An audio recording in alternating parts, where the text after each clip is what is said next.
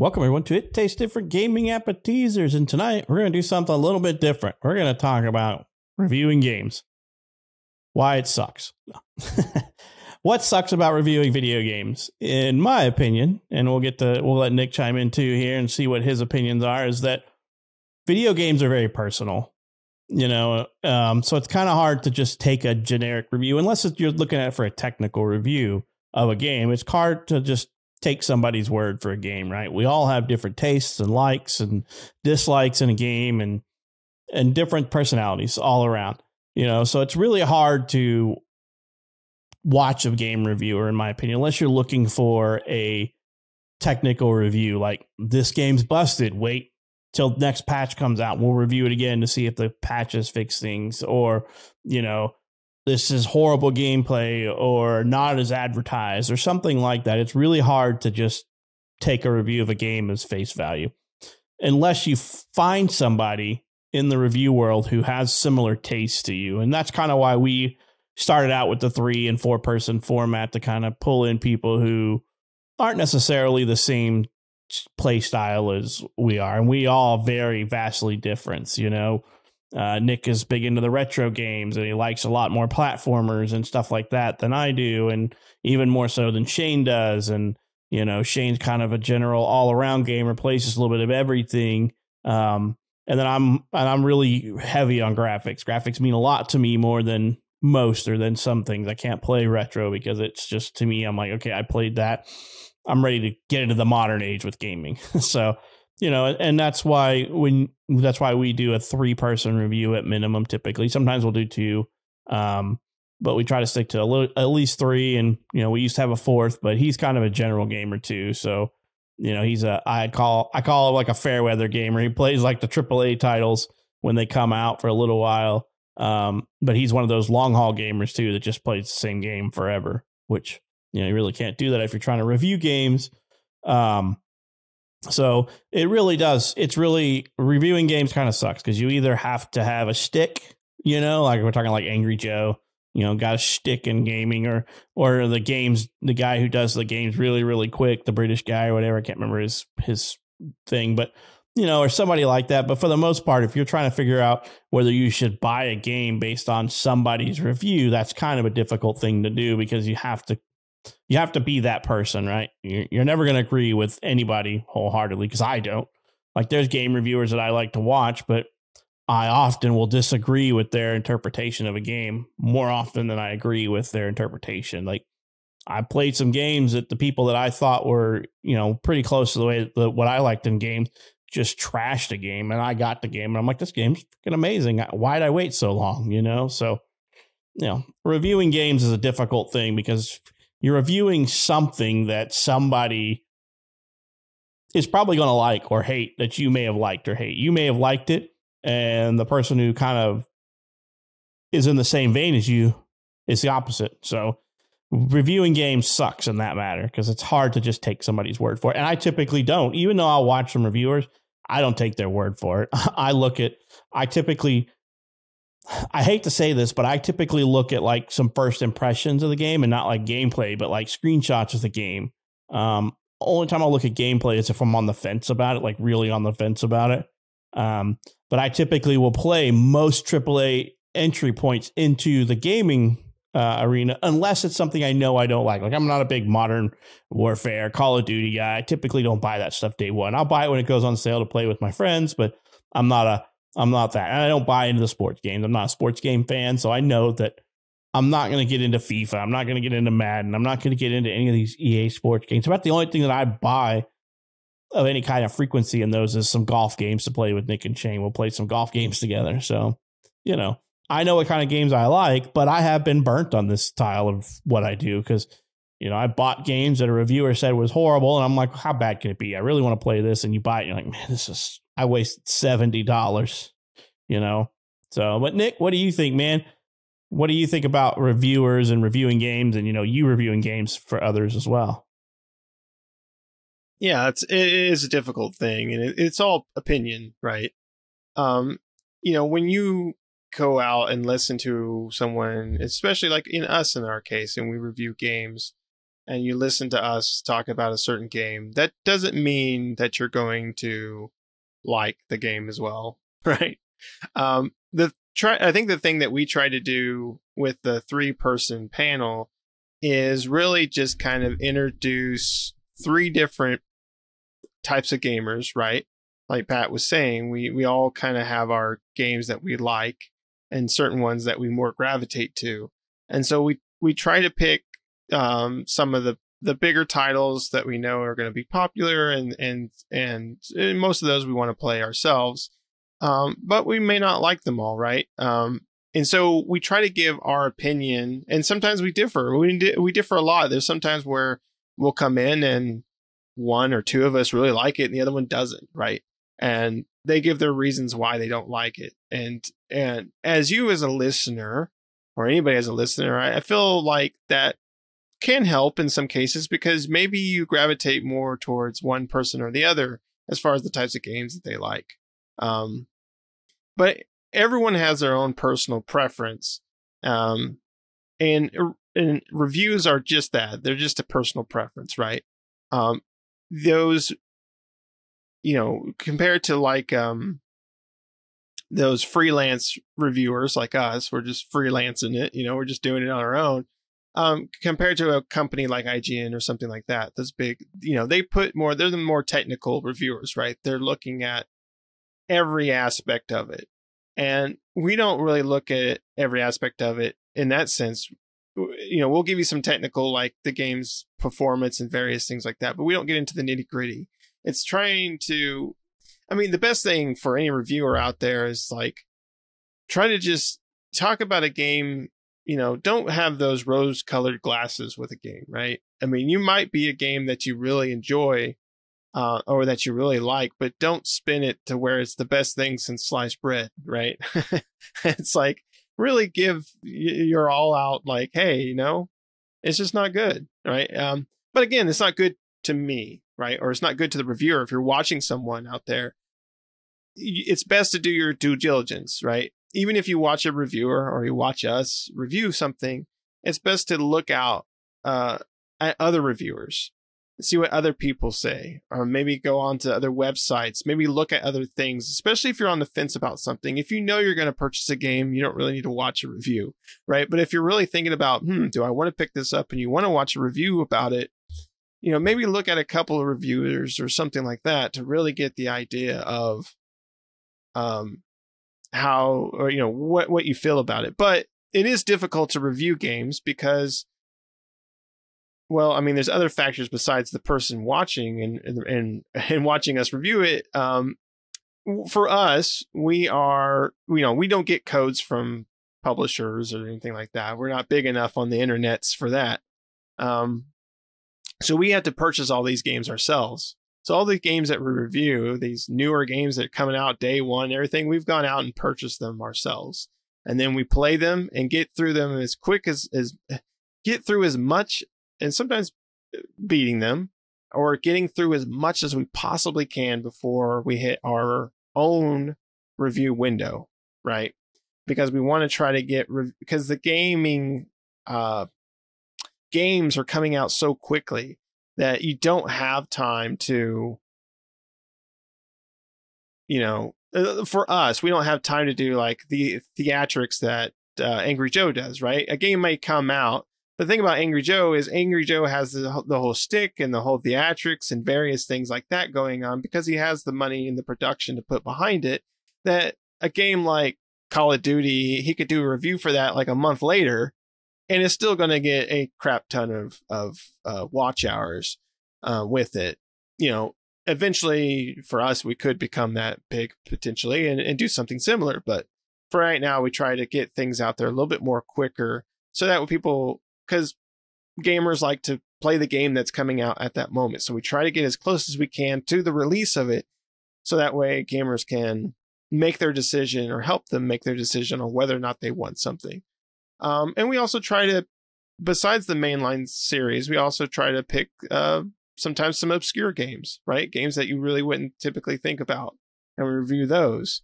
Because uh, um, I we I think we also feel like um, we want to open ourselves as well as gamers up to experiences they may not have looked at, right? Um, how often do you see reviews for games that no one knows about, right? or very little people. You, you'll see them for the big titles, but for the smaller titles, you may not. And so we try to hit those too. Um, but it is difficult. You know, it's difficult also because it takes away from us being able to play the games we personally want to play, right? Besides the ones we want to review, we do have other games that we all like individually that we're not all playing at the same time, like the Dead Space remake that we just we just played, or or you know whatever else we're playing um, that we reviewed in the past.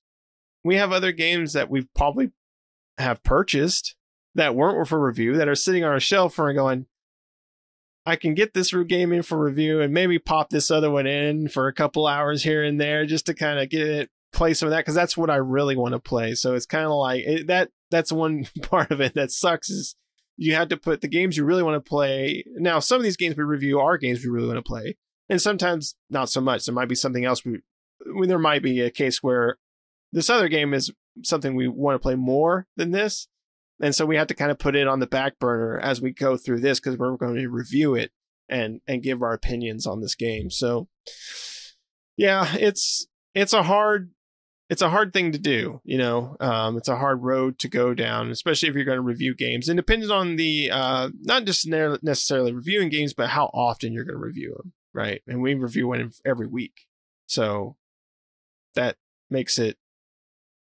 makes it difficult to to play anything else besides the game you're reviewing. yeah. I would say that's probably one of the more difficult tasks, right? You got to play this game enough to give an honest review of it. You can't put 10 minutes into it and give a review. You have to actually put time and effort into reviewing it in the time.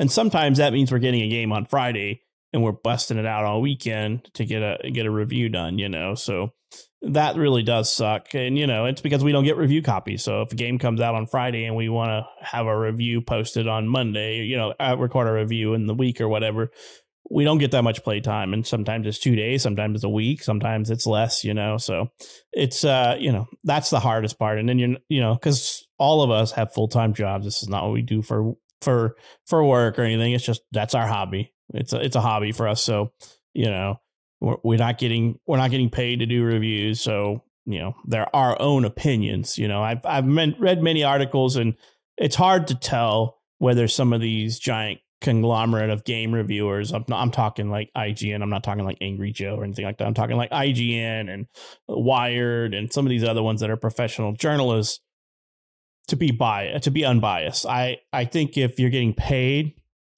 as a company, how hard is it to say, I'm going to give your game an honest two because you deserve it? It's a, it's a crappy game, you know? Um, and you know and not fear repercussion from that developer or publisher to say well you know you're out of our review publication now we're not going to give you review copies of our game i mean because that's a very real thing you know and as a as somebody like ign that you know if they're going to lose their freebies or whatever because of this then they probably have a real worry. I don't see IGN giving threes and twos and fours away that often. You know, so they give a lot of fives and sixes. So, which I take to mean IGN's one and twos or fives and sixes, so they don't upset the publishers and developers out there. So, um, you know, so I, it, you know, we're reviewing stuff based on, like I said, our own opinions. So it's you, got to take them or leave them, right? You know, you, you take them with a grain of salt, do your own research. You know, I I already typically know before I start watching anything on a game if it's going to be a buy game or if I'm on the fence or I'm not even interested. You know, and we're always open to even getting game getting hit up by indie developers to ask if we'll review their games. It's happened before, and we're open to that. We're open to reviewing some of that stuff that, as Nick has said, but remember, it's also when we do that, it's replacing something else in our lineup typically. Uh, we have occasionally done two reviews in one week. That's really rough for us because, like I said, we all work. We all work full time jobs. We have, we all have kids. We all have families. And, you know, so we're having to dedicate time to doing our hobby and then taking away from time from playing the games that we want to be playing right now, you know? so that's why it kind of sucks. And, and what I mean by sucks is that it's, uh, it's hard to find somebody that you trust to review games. That's why we do the three panel review system. at least three, you know, two to three. We typically don't. I don't think we've ever done a single person game review, um, just because it doesn't. It just it's not a good format. Um, you may not like the person who's doing this review of that game. You're like, well, I wanted the other guy's opinion because I like his opinion better, you know, or I I trust his opinion more, or whatever. Or where's the funny old guy? His his opinions are more funny than your guys, you know, or whatever, you know. So, uh, you know that, and that's what we mean by reviewing sucks is because I like I said, I watch I watch Angry Joe. I watch quite a few different ones, but I definitely don't take what IGN says to heart on a video game review because I don't know whether they're getting paid for that review or not. Um, you know, and to some extent, Angry Joe is getting free copies of games. You know, I mean, his stuff seems to be spot on mostly with what I would think of a game too. But he also has games that he likes that I'm like, that game's garbage or that game's trash or I don't like it. Or, you know, maybe it's not garbage trash. Maybe it's just, I don't like that type of game. So, you know, and he's into that. So I typically, like I said, I try not to set a preconceived notion of a game sometimes, but sometimes my uh, opinion of the franchise gets ahead of me. And I will be the first to admit that. I mean, that that's happened, you know, I mean, I loved Andromeda. Most people hated it. But I, I love the Mass Effect universe, so that's why what kept me going. Even though that game was a technical train wreck, of technical issues. But it was, in my opinion, it was a good game. But um, but I'm also not one to say that my game is better than something else when like Game of the Year comes out. I mean, I love Horizon, but I'll be the first to admit that a game that's not in my genre was way better than it. Even and I played that game, so Elden Ring was better than than uh, than Horizon, and that hurts to say. but you know, but I'm also thinking like uh, in the future, like Star Wars, uh, the Jedi Survivor one. I'm all giddy for that. I've watched nothing on it, but just Star Wars. So, and Starfield's kind of the same thing. I like BioWare and I like the stuff they put out, so I'm kind of giddy for Starfield, even though I've watched nothing on it because I don't want to have a I don't want to have a preconceived notion except for my giddiness over who's putting it out and it's space. I love space games. I love star. I love stuff in like space type games, and I I love Bioware games. You probably already can tell Mass Effect and all that stuff, you know. So, um, but you know, so you got to find people who like the same genre and stuff as you do. You know, I mean, I grew up on that type of stuff. You know, I'm a big RPG storyteller. You know, Dragon Age, Mass Effect, Horizon, all that kind of stuff. And I'll I'll play games outside of my genre, but I'm also don't like horror games. You know, I played the Dead Space remake with these guys, and while I admit it was a good game, it's hard for me to play something like that. Um, so it's not really. I would not have bought Dead Space if it was if I wasn't reviewing it. So I would have known. I know off the bat when that game was coming out, it's not going to be in my purchase.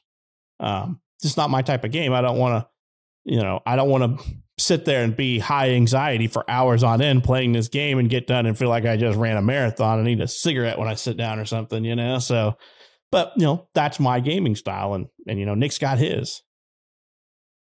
Yeah, yeah, for sure. And I also want to mention Starfield is not a Bioware game but just oh, yeah, I just mean in the same storytelling genre, right. you know, right. in yeah. in that just, genre. Because I, I just see somebody saying it already. yeah, just just to no, I just mean like the storytelling right. RPG genre. Because in my opinion, if you know, it it seems like it's going to be very much like that type of universe to me. You know. Yeah, yeah. Starfield looks really cool. Um, I'm I'm I'm excited for that, and Jedi Survivor. I'm excited for that one too. You know, I mean, I love the first one. Um, and I liked Andromeda. it was a technical train wreck, but I played it. I beat it. I enjoyed it.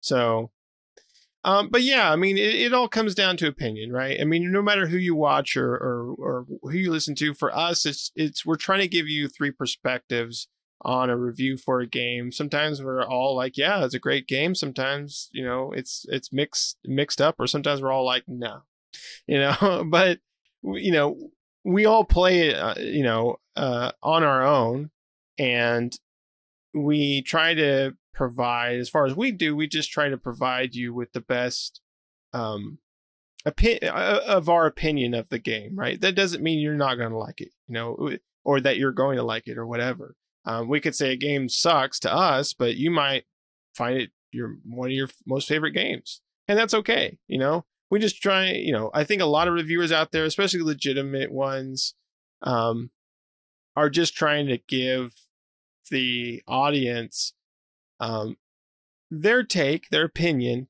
and the best opinion they can.